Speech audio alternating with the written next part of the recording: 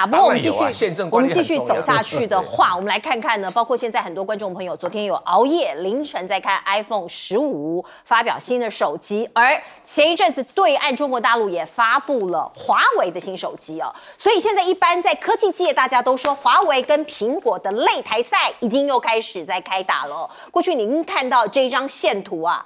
呃，华为是蓝色的，苹果是橘色的哦。我们讲的是它的销售量哦，一一台台一台手机这样这个量哦。二零一九年，您看到我们圈起来的地方哈，华为超越苹果，它销售量大概是两亿只，有没有？华为起来了啊，那两亿只，苹果一点九亿只啊，这个是在这个地方交叉点啊。到了二零二二年的时候呢，呃，销售量。下来了，我们看到了这个呃，华为的销售量跌了，只剩下苹果的四分之一而已哦。可是华为的新机现在出来了。一般的这个呃评价也不错，有没有可能哦要超越苹果？我们看到的是他们的擂台赛在数量方面的，可是，在功能上或者是在运用上面，那很多网友都有拍影片。我们来看看，包括华为的折叠机决战苹果，台厂得利啊哦。那法人预估华为全年出货量上看四千到四千五百万五百万台哦这么多。那我们也可以看到，包括 iPhone 十五，因为出货量。哦，有可能会被下修，为什么呢？中国面临经济的问题嘛，因为过去中国也是一个很大的苹果的市场，可是现在呢，华为推推新机，加上经济可能有一些问题，所以苹果 iPhone 十五哦，在这个整整个全球的出货货量可能会下修到七千八百万只而已哦。这个是来自于瑞银证券的分析。另外，我们看看呢，昨天啊，苹果的这个发表倒数，呃，这个这个在线上很多人在看，可是一般。呃的用户或者是一般的观众的评价是好像没有什么新意，可是反观。华为哦，前一阵子发表的这一支哦，这个呃 Mate 六十 Pro 哦，被五吨的大巴士碾过还毫发未伤呢。我们请导播让我们看一下这个画面，这是网友自己分享出来的画面。您看到的是哦，包括呃这个马斯克哦，他昨天看了 iPhone 的手机新的发表会，他说他不觉得哦跟之前的版本有什么差别，他很酸的说可能相机提升了十趴吧。而另外我们看到华为哦，因为过去被西方打压，尤其是被美。国打压任正非哦，他的这个创办人哦，他其实一直都有他的理念。他说，华为储备人才，不储备美元，所以不管你美国怎么走，我走我自己的路。过去呢，我们看到任正非也接受媒体的访问，对岸央视的访问，我们来看看。美国压境的时候，不是觉得您是民族英雄，您愿意接受这样的称号吗？不接受，我狗熊。我根本就不是什么英雄，我从来就不想当英雄。任何时候呢，我们是在做一个商业性的这个东西，商品的买卖不代表一个政治态度。这个时代变了，你怎么买苹果手机就是不爱国的？那人这么看，那还开放给人干啥呢？商品就是商品，商品是个人喜好构成的，这跟嘛这个是没啥任何关系。嗯，这媒体炒作有时候偏激。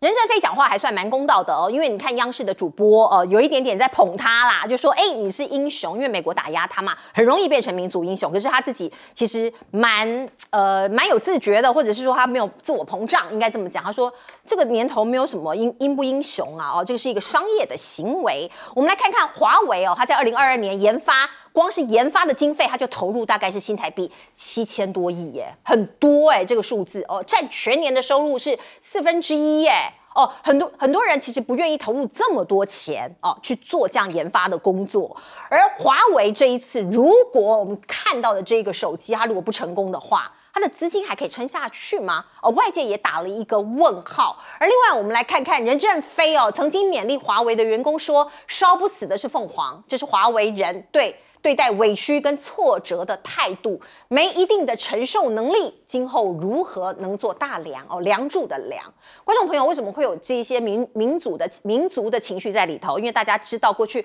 任正非的女儿孟晚舟哦，其实在加拿大被逮捕这件事情哦，在中国大陆是呃视为民族的屈辱啊。我们看到呢，呃，包括我们台积电过去的人才哦，到对岸去发展，现在也被贴上标签，叫做叛将。哦，这个人是谁呢？梁孟松为什么会把梁孟松拿出来讲呢？因为华为的新机搭载的这个晶片哦，据说是从中兴来的哦。那梁孟松现在在中中兴嘛，对岸的中兴哦。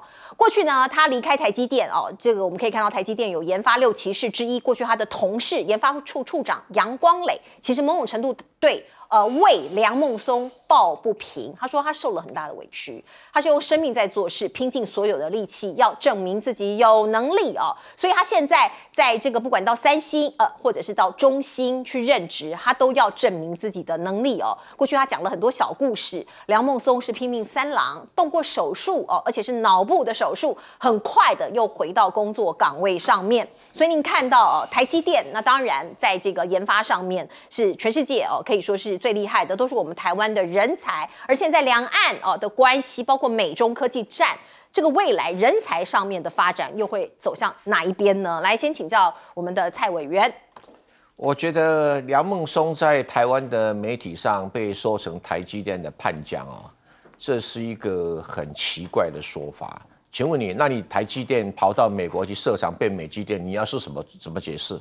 所以哦，这种就纯粹的商业行为嘛。他又不是这个台积电的儿子，对不对？他就台积电有雇佣契约嘛。那雇佣契约你限制他三年不能动，他跑到三星去了，他也乖乖的三三年没工作，然后三星开始上班，上班一段时间离开三星，哎，三年又再跑到去中芯国际，这是一个人才这个自己找工作，这有什么判不判价？是吧？你有跟他绑说一辈子的薪水、一辈子的契约，你也没有啊。这种说法是不对的。好，再举个例子啊，台湾曾经有一个。诶，应该讲奇美吧，一个面板大厂，然后面板大厂呢，哎，合并的时候就把一个很重要的干部，觉得他已经老了，没什么用了，就把他开除了。那结果这位被认为是老先生呢，哈，那就找工作啊，去找八找，就想说，那好。开个晶片设计公司，不用什么成本的，靠脑力就可以啦。就找上了大陆上某一个老板，那老板看计划书说：来来来，你有盖厂的经验，我不要你给我搞软体，你给我盖这个大型这个面板厂。现在全世界最大面厂他盖出来的。哦，硬体。那你不要的人才，你把它丢了，那就是雇佣契约，这有什么好讲呢哈？你是你眼睛拓汤看走眼了嘛哈？这个华为哈跟那个。苹果在高峰的时候，一年都有两亿只的这个这个销售量啊，它不是讲新机哦，新机大概是两亿之中的呃三二三分之一到二分之一的这样的一个比例而已哈。那不管如何，华为为什么掉起掉下来？嗯，是不是因为它的技术不好，产品不好？不是啊，美国打压嘛，那很自然会引起呃很多人的这种不平，这是心嘛啊。啊，就像那个我们戴教授拿到华为新机，开心的不得了呀。他觉得嗯，有帮华为吐一口气的。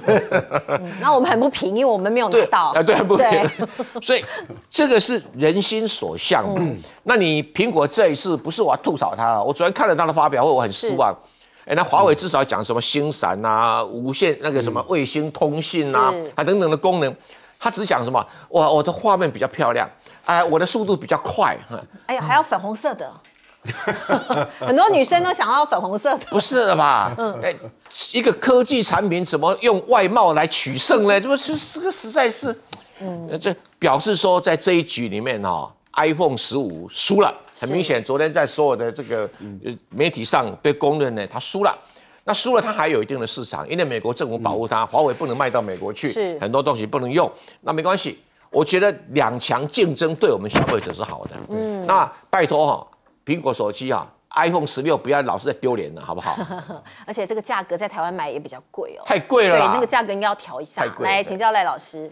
华为这次出这个新机哦，引起很多的热议。那一方面是因为它被打压了三年多嘛，那三年多以后突然间那很低调的就问世了，然后大家就突然间发现，哎，华为活过来了，然后就开始应对应的一个战争了嘛。呃，在整个比对的过程中，华为经得起考验，所以引起了热议啊。所以除了有这个民主情感的因素以外，也有它被打压重生，就是我我们讲的王子复仇的这种故事情节在里面。再来就是它有硬货硬体的这个部分里面，所以它引起了这个海内外全部的人的高度的关注。其实不只是中国大陆跟台湾地区，其实连欧美的地方大家都在讨论它。那讨论的时候他就成功了，他的宣宣传营行销他就成功了，因为他引起了最高度的关注。是另外一个部分里面，他很自信的告诉你说要多少有多少，他都可以卖得出去。这代表什么？代表他的这个被打压的半导体解决了，嗯，供货问题解决了，所以不是从国外进口，不是海力士所说的，哎呀，你你应该用了我的东西，应该是自己有能力生产。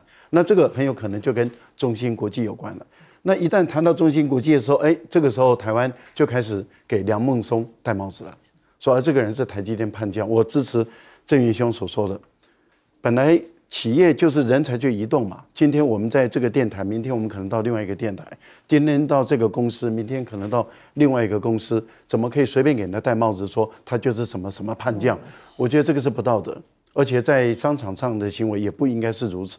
我们真的是乐见华为跟苹果彼此之间的 PK，但是我们希望的是在市场的竞争中，而不是美国用这种政治力，用这种高度的政治力去打压一家企业。嗯，我觉得美国的这个做法是让我们绝对不能接受的事是情，。其实应该要良性竞争，这是也是我们消费者之福嘛。来，请教斌哥。我先帮苹果讲一点话，就是很多人说苹 iPhone 十五现在定价太贵，其实不是，真的吗？他们已经定价跟上次是一模一样。可，是台湾买比较贵耶，是因为我们的汇率太哦。高，因为我们台湾现在已经变成一比三十二了，所以对所以所以就贵就显示比较贵了。那当然，其实苹果在有一些地方常常会有一些特特别价格，可是台湾从来没有这种机会，所以这也是蛮奇怪的地方。我也不懂，是因为台湾人对苹果太始终了，所以就就不需要了，是我不晓得。嗯可是我我觉得这一次 Mate 六十出来，当然有一些民族情感在那边，但它确实也有它自己的一些，就是让大家觉得它真的是刮目相看的地方啊，跟以前不太一样。不过这个用大巴去压它就有点 就有点过头了，是是有点矫情、对啊，因为 说真的，如果要比这个的话，我我认为 Mate 六十应该比不过 Nokia 那个不是三三一。零。官方的宣传哦，那个是那是粉丝，那是粉丝好玩啦。对粉丝好玩的，粉丝好玩的。啦。那实际上史上最被吹捧的叫 Nokia 三三一零，哦。那个那个据说连子弹都打不穿的。放在那边对啊对啊，哦，这这边可以当手机要干嘛？当防弹背贴在心心脏里面，那个去上战场。是，但但不管怎么样，这都显示它确实引起成功引起的话题性。我觉得这个对华为来讲就是一个很重要的里程碑是是，因为他就减了，光是广告费就省多少啊？当然嗯对啊，然后就就是大家都帮他宣传，那一定会有很多人像。赖老师拿到之后，现在一大堆人都想说，是不是可以从他那边弄一台？因为他们有两台啊。对啊，割爱吧，一起一台，所以，所以我我觉得华为这一波不管怎么样算是成功了。嗯。可是问题是，接下来才是最重要的事情，也就是任正非。其实你看他为什么要讲自己不是英雄是狗熊，其实就是要告诉大家，其实现在才刚刚开始而已。嗯嗯。他们所有的努力，所有遇到的挑战，这只不过是现在最开始最初期的。他接下来美国一定会用更厉害的方式去打压他，他也必须要去迎战。是这是华为必须面对的宿命，他逃不掉的。那至于说梁孟松，我我就觉得很奇怪，就是我们台湾人好像都有一种奇怪的老板心态。你当初如果没有把人家赶走的话，他他为什么要离开台积电？对那我想请请教一下，你把他赶走之后，又不准他去别家公司服务，那到底是谁的错？对我我觉得这是一个最基本的道理，做人不能什么东西好处都归你，嗯坏处都归别人。我觉得这是莫名其妙。是没有错。我们来关心美国的总统大选，我们看到呢，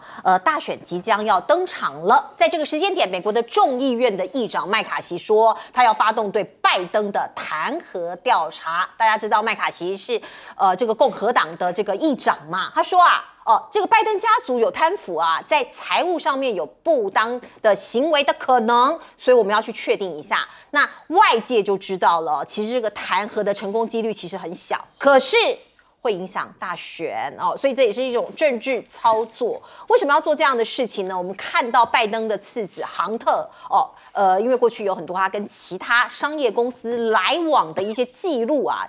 打着他爸爸的名号，当时他爸爸是副总统嘛，所以包括他涉嫌逃税啊、非法持有香械啊、海外非法交易啊等等点点这么多的东西啊，本来打算认罪啊，这个这个协商认罪啊，认罪协商，可是协议破裂了嘛，哦，所以我们看到特别检察官将在本月的二十九号前要起诉杭特哦，那这个时间点麦卡锡要弹劾拜登，就是要来给他们一个重重的一击哦，他们算准了时机出手，要重挫拜登，重挫民主党的选情，而我们现在看到的，包括拜登，包括这个川普这两位哦，真的是老先生了，可是。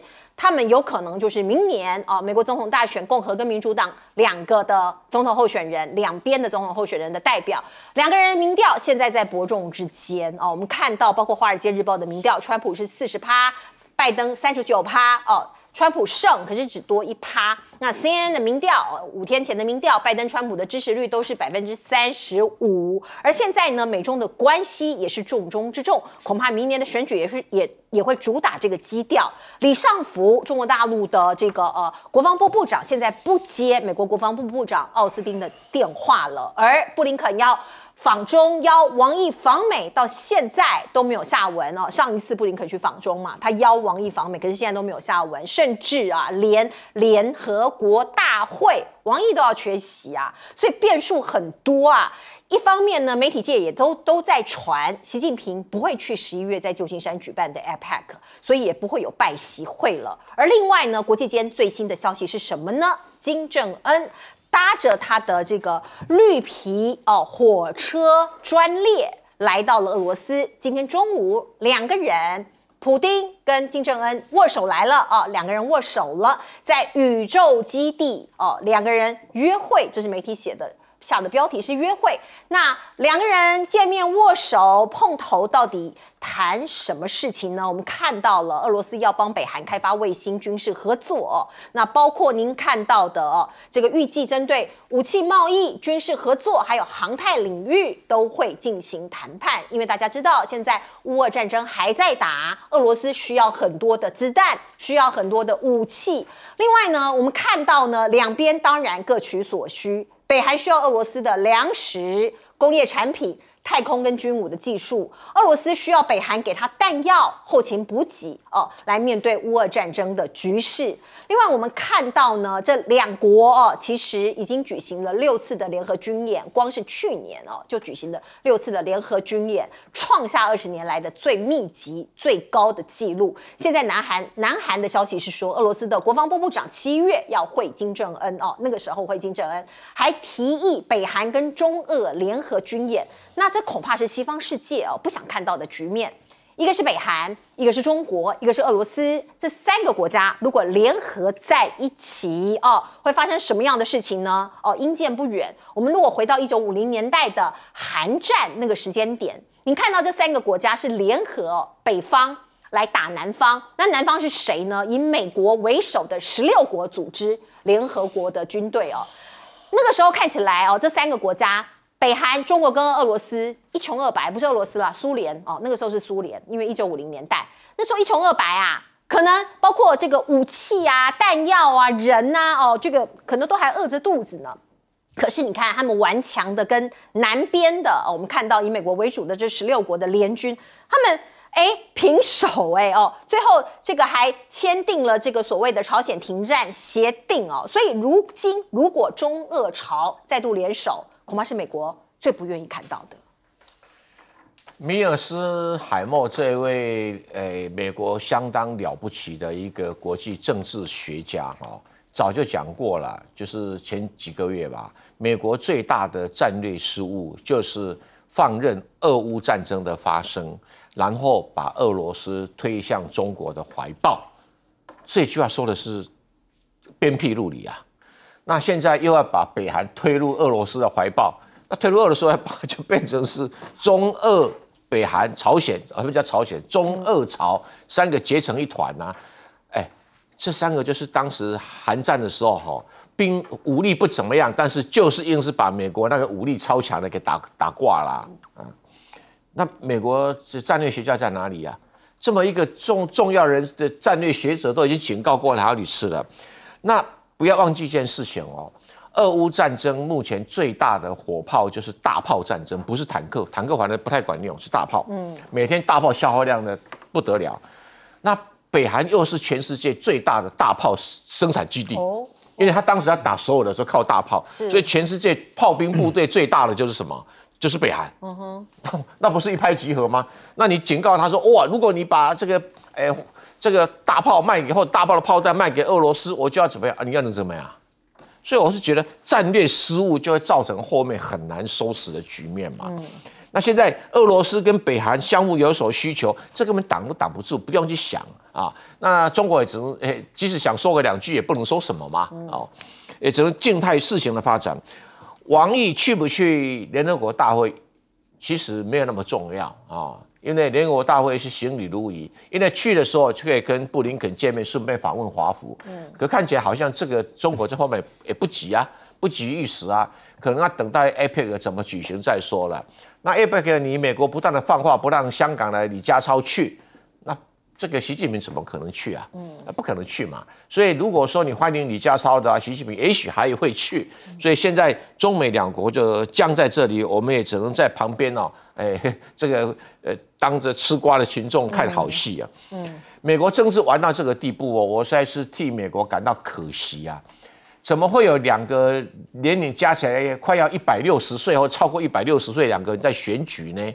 哎，难道你民主党都没有年轻优秀的一辈，你共和党都没有吗？怎么走到这个地步呢？所以我们不断的歌颂民主政治，其实就政党选举制度，就政党选举制度出了问题，让民主政治还搞这个局面。而两个，你我们台湾讲说要提什么政见什么，两个没有什么提什么政见呢，整天就说哦。呃，这个拜登啊，你的儿子跟你在乌克兰有贪污啊，然后他说说哦，你啊这个有这个偷偷的藏了什么秘密文件呐、然后你有这个什么国会山庄事件，哎，从这一个月来看到美国新闻，两个人都在扯皮耶。对对，有没有说 Make America Great Again？没有啊，Make America Dirty Again，这是很糟糕的事情。那麦卡锡，我们也不能怪他，他为他的党嘛。对你丢我烂泥巴，我就丢你垃圾桶。那整个美国政坛就乌烟瘴气。那个所谓的我们以前呢、在念到美国政治的美国精神不见了，哈，美国的道德价值不见了，剩下的是啊，好像都跟民进党学的啊、哦，民进党出口的东西很成功啊，没有一样不是什么网军啦、媒体啦，搞得乱七八糟的，连司法都拿来当工具，这是美国吗？真的是哦，让人家觉得非常的唏嘘。我们先进一下广告。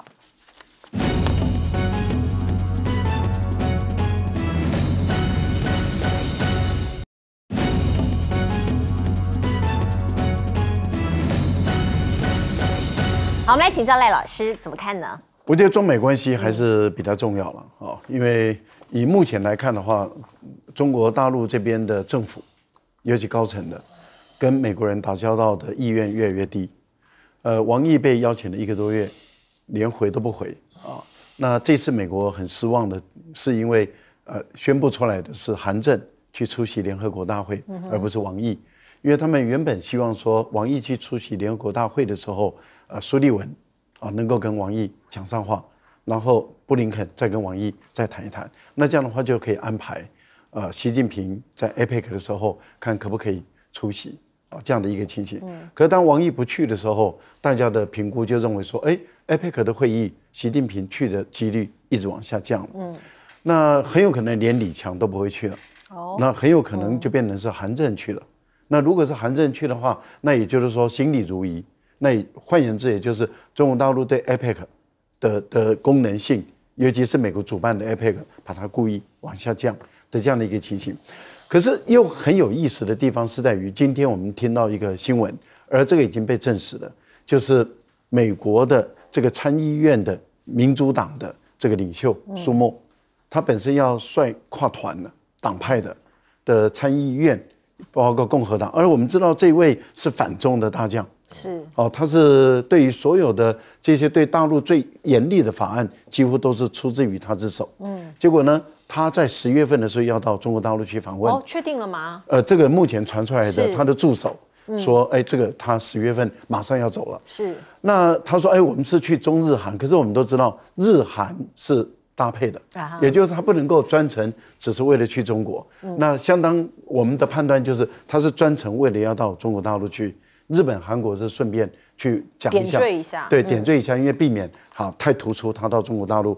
可是问题就是参议院的议长为什么要率大那个跨党派，而他是反中大将是，为什么要去？我觉得可能美国的氛围已经有点在变了。这个氛围变是来自于企业家、企业领袖，他们本身对于中美这样子、美国这样子打科技战、打经济战、打什么战，我觉得这些企业领袖已经越来越不耐了。我们也看到雷蒙多的压力也越来越大。嗯，那当企业领袖开始改变的时候，他们会影响到政客本身的政治现金，是也会影响到他们的政治态度。我觉得很有可能，华盛顿的这个氛围可能可能慢慢的会发酵，会微妙的变化。当然，这还要再观察了。嗯，以后的走法。现在的朝鲜跟俄国的合作，其实是让欧美的国家，尤其像美国最痛苦。嗯哼，因为各取所需。如果朝鲜拿到，因为他是说卫星嘛，是。卫星其实就是洲际弹道导弹而且有定位。对。那这就代表它的战术核武的精准是精准性。如果他要拿到潜潜舰的技术，对朝鲜来说，那日本海有开始有朝鲜的潜舰在那地方航行，而且本身装有核弹头，嗯。这个对于日本、对美国、对韩国根本睡不着觉了。所以我，我我觉得他们两两个国家的元首跨到这一步，对整个东亚地区，包括美国的安全构成很大的威慑力。嗯，是。来，我们进一下广告。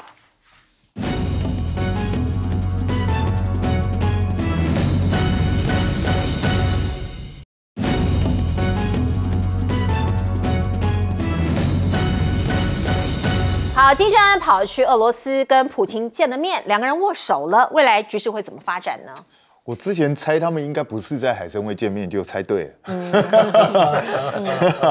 因为我觉得在海参崴是有点敏感的地方啊，我认为他们会换个地方，就果然在阿阿穆尔的这个火箭发射基地啊。嗯那他们在那边，你以为单纯只是参观火箭吗？我认为不是，其实他在宣誓，而且是摆明的宣誓，就是未来。俄罗斯会在火箭发展、跟洲际弹道飞弹发展，甚至卫星发射方面，它会提供北韩大量的援助。我觉得他基本上就是直接告诉西方世界，我们就准备这样干。嗯，那你这边说，当初是因为中苏还有朝三国结合，然后打退了美国，那现在重演，美国会不会怕？美国不需要怕，因为这就是美国自己造成的、啊。因为你逼着他们三个在一起的，他们三个本来没有要在一起。其实中俄之间本来有很多矛盾，甚至在金金小胖刚上任的时候，中国跟朝鲜之间其实有很多矛盾。结果现在是你逼着这三国不得不在一起，因为对这三国来讲，如果他们三个现在不离结合在一起的话，会被一个一个分别被你弄死，所以他非要结合在一起不可、啊。所以美国有什么好怕的？是看起来像是拜登的战略性促成他们要在一起。我我我不知道，我不知道你弄这样的什么意思？是觉得这样比较好一起见面吗？我不晓得啦。这个这个做法本身是完全莫名其妙的，因为我一直不懂拜登的战略主轴到底是什么。如果你的战略主轴是要针对中国大陆，那很明显的，美国过去的历史告诉你，这时候你要尽量容忍普京的作为。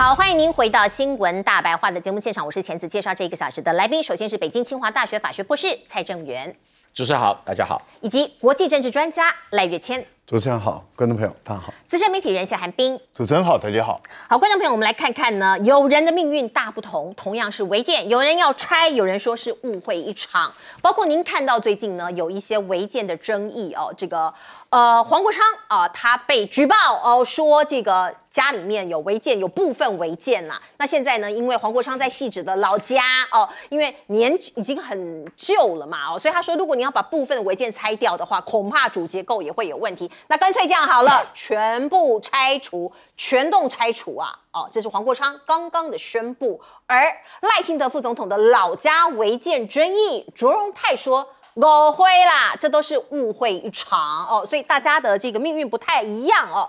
观众朋友，我们再来看看，包括啊，现在讲到蓝白河，蓝白河，有人说，哎呀，不要再想了，不可能。那有人说，我来分析看看，有新的路径。这个是台大政治学系的教授王业王业立教授、哦，他说，呃，蓝白河他分析了有四种整合的模式，第一个就是最基本基本的，大家都在说的正副手搭配。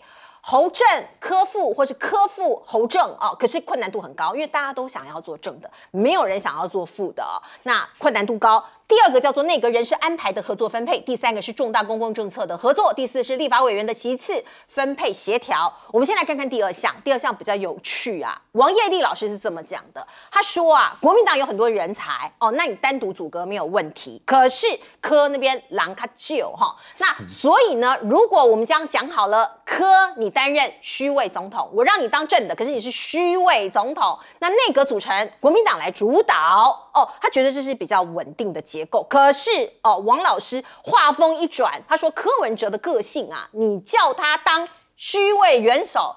马西波科联哈，所以讲了半天，是不是还是一样？蓝白河整合性可能不高吗？我们这边打了一个问号哦。观众朋友，最近很多人都在呼吁韩国瑜，韩国瑜是不是可以出来哦，做一个统估的一个工作？因为他呃蛮会调和顶耐，大家也知道他。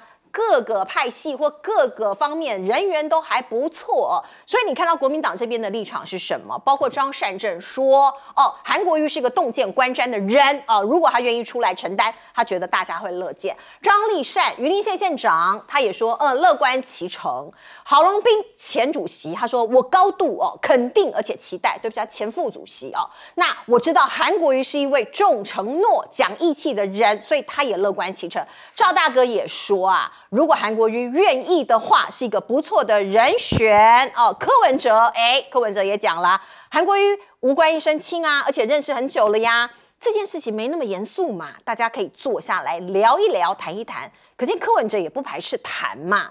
那郭台铭呢？郭台铭说：“我非常支持韩国瑜的看法，也乐见他啊，乐见其成，他能够出来扮演一个能够促成成功整合的角色。”其实郭台铭一开始就讲啊，他出来不想独立参选啊，我记得他是这样讲啊，他是要促成整合啊，所以好像感觉大家都有心，可是就没有人往前跨一步哦。我们来看看一个民调，一般民众怎么看？因为过去这两三个月。蓝白河吵吵闹闹哦，在野的整合吵吵闹闹，看起来没有一个眉目啊，所以有将近七成的民众啊认为在野无法整合成功。这个是来自于民主文教基金会的民调，刚刚才发布的。他的访问啊，就是访问的民调访问日期是九月一号到四号，用市话电访全国年满二十岁以上的民众。然后呢，我们可以看到结果出来，六十八点三趴的人觉得很难啦。你三个人要调和，要整合出一组很难啦。哦，那另外汇流民调九月份的第二周总统大选民调也一样哦，呃，差不多是我们之前的这个所认知的这个状况，有超过六成的民众支持政党轮替。如果非绿三个人，我们刚刚讲的。郭侯呃，这个郭柯跟侯，如果这三个人整合对决赖清德，会得到一半选民的支持哦。您看到的非绿联盟组合，不管是郭侯侯郭，或者是柯侯啊，反正就是这三个人整合出一组啦哈，有五十一趴的人会支持这一组哦，哈。五十一趴的人，那赖清德只有三十五趴支持度，有十三趴的人无意见哦，感觉是一个这个成功的方程式。以非绿阵营来讲，是一个成功的胜选方程式。而另外，我们看到民调，那当然每一个月都满天飞，都有十多份民调。那刚刚出炉的这一份民主文教基金会的民调，我们发现它跟民众党哦今天的一个内参民调试出来的一个民调很接近，这个趋势很像啊。包括赖清德是三十三趴，柯文哲第二名二十趴，侯友谊十六趴，第三名，第四名是郭台铭只有十趴。民政党自己也说他们是第二名哦，所以趋势有一点像哦。那当然，前两天我们看到，包括 ET Today，包括美丽岛电子报都说侯友谊已经超越柯文哲了。所以到底要相信什么呢？观众朋友，你自己心里可能有定见啊。只是我们把民调的趋势告诉你的意思是说，如果柯文哲自己认为我会赢过侯友谊，因为自己的内参民调他是赢侯友谊哎，你看赢了八趴多哎，他怎么会愿意当副手？可是侯如果真的是第三好了。那国民党有可能让他当副手吗？泱泱大党哎，所以难度是真的很高。来，先请教这个兵哥。我觉得戏子这个东西真的继续这样缠斗下去完全没有意义啊！我不知道赖清德跟整个民进党在想什么，是因为现在民调赢太多，所以管你的，反正就是这样干，我随便你。你说违建这个？对对啊，违建这个东西不是。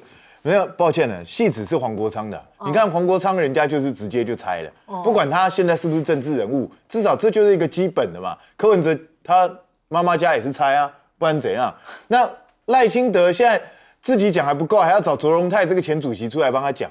那卓荣泰有一个超级奇怪的逻辑，他说他曾经去那边，然后呢有看到新北市政府有来分送那些餐点，就是因为就就是就有点也不是救济啊，就是分送一些东西让大家分享嘛。他说你分享的时候可以，那结果分享完还要拆人家的房子，这样对吗？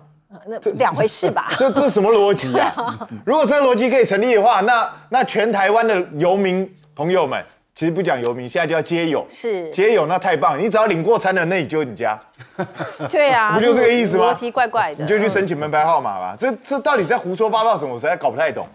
那可是问题是他们就是准备硬凹了，就就是这样硬干，所以也没别的办法。可是呢，现在他为什么能够有这么多的底气？就是因为整个在也是分裂的状态，而且看起来是整合不起来嘛。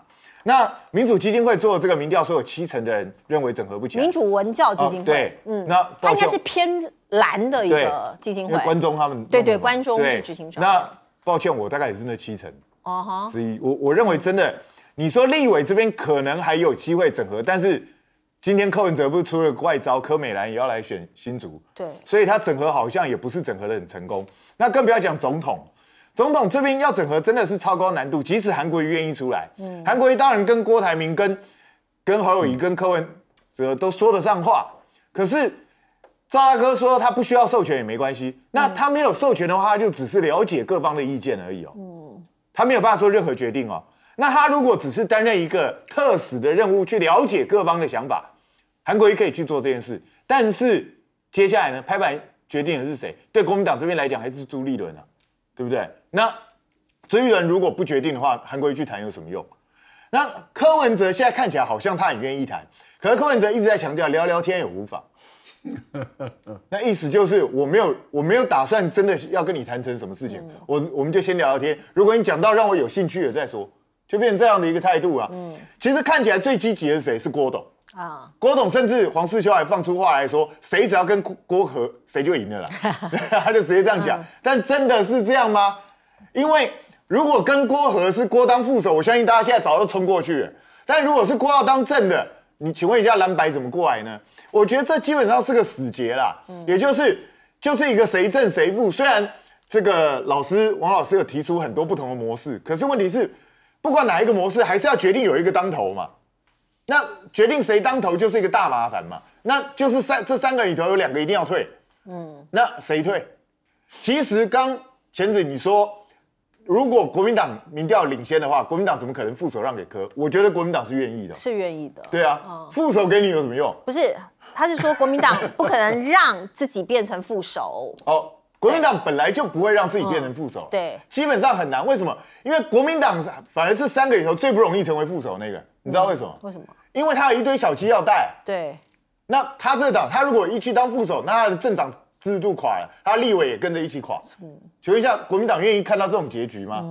所以这是一个极端困难的事情。我认为，说真的，就算侯友谊从美国回来，我也不认为真的有办法谈到什么样一个程度。我你你可以说我就是悲观，其实我是希望再也能够谈出一个，不管是谁都好。嗯，可是问题是以现在这种局面看来，特别是如果柯侯两个人的民调还像麻花一样纠缠，我个人认为基本上是不太可能会谈。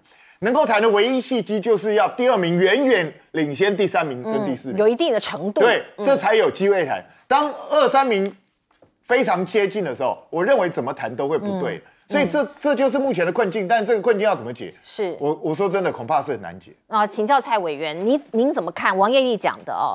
柯文哲有可能当虚位总统吗？王艳丽讲的当然是一番好意了哈，他说有没有什么解套的方案？是，那他也是根据这个民调的一个数据，觉得说有些呃柯文哲的支持者移动度不高，所以他做出这样的一个判断。所以在未来联合政府的这种呃责任的分配上面，他认为西位元首走向内阁制是一个可以努力的方向。那他认为说这样一个其他方面可能比较容易接受啊，就是。那赖叶先教授当然主张国民党要拼啊拼啊拼啊，爱拼才会赢啊。那我要泼这个哎赖教授学的的一个冷水哈。国民党怎么拼？三个人选一定落选，不要拼了，拼也没用。为什么？我最相信的民调是 TVBS 的民调，TVBS 的民调跟这现在这两民调一定啊，所以只要民调跟 TVBS 一致的，就是对的；跟 TVB 是一不一致的，就是不对的。啊，谢谢我我的原则是很清楚。谢谢委员。啊，对，我的原则很清楚。所以 TVBS 民调跟这刚才讲的民调一模一样呢。那另外有些民调跟 TVB 的背离太远，那不必相信，那假的。嗯那我要说是这件事情啊，就是说所有的谈也好，嗯，韩国也真的是很适当的人选。适当在哪里？国民党哦，整个党你说什么几十个多个党员多少个干部没有用，为什么？因为没有一个人跟柯文哲是可以诶水乳交融。嗯，哎，他们两个有老交情嘛，是又没有政治上的恩怨。对，对不对？比如说二零一四年我跟柯文哲对打的多凶啊，我看到他也不顺眼，他看了不顺眼，那 这还用说对不对？啊啊，更不讲朱立伦了，对不对？哈、所以这种东西没办法推心置腹，没有办法讲那些互相可以相信的话，对哦，这个在政治上很难的。那对不起，刚好韩国有这个机遇，啊、然后跟柯文哲某种程度来讲相知相惜，所以他去做个沟通了。柯文哲认为韩国也不会骗他，他至少认为黄建典会骗他，朱立伦会骗他，他不会认为这韩国也骗他嘛。对人的可信度就是个招牌。哦，也许说，哎，别人不相信韩国语，但我认为柯文哲会相信他，这是好的一个起步。嗯哼。那郭台铭跟跟韩国瑜呢，我也谈不上，我不觉得谈上什么什么有多深的交点哦，但是至少没有翻脸嘛。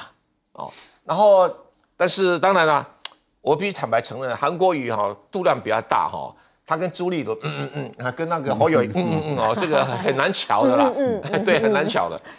但是要谈出个结果是很难，但至少先沟通，我觉得应该的。嗯，有沟通就是好事啊、那怎么沟通呢？王业力讲对了，他排第一个就是正副手的分配嘛，对，用什么方式决定谁是正谁是掷负？骰子，我我都同意，我都同意，我都同意。哦，这个钳子你这样，我都同意。因为对我们来讲，我们不是当事人，嗯你们只要成为一组人马，就有希望赢。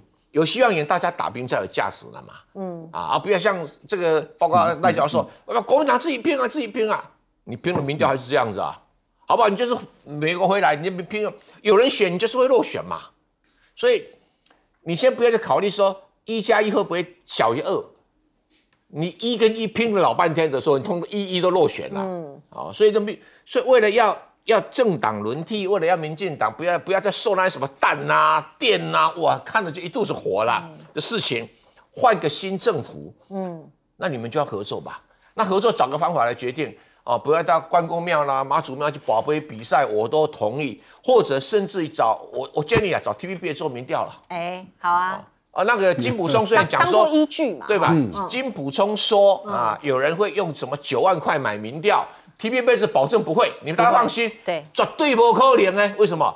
我观察 TVBS 的民调几十年了，从来没有没有顶打鬼，顶打国语怎么翻？叮当哎，顶打 听不失错听不过。懂，错误过，那美男你对不起，我没得跑出来了。听不懂。没有失错过。啊，所以我是觉得就很简单，就是找韩国瑜出来主持民调，盯着 TVBS 做啊就可以了吧？是。那民调比较高的当正的，民调比较低的当副的，大家心甘情愿嘛，是。就最公平了嘛。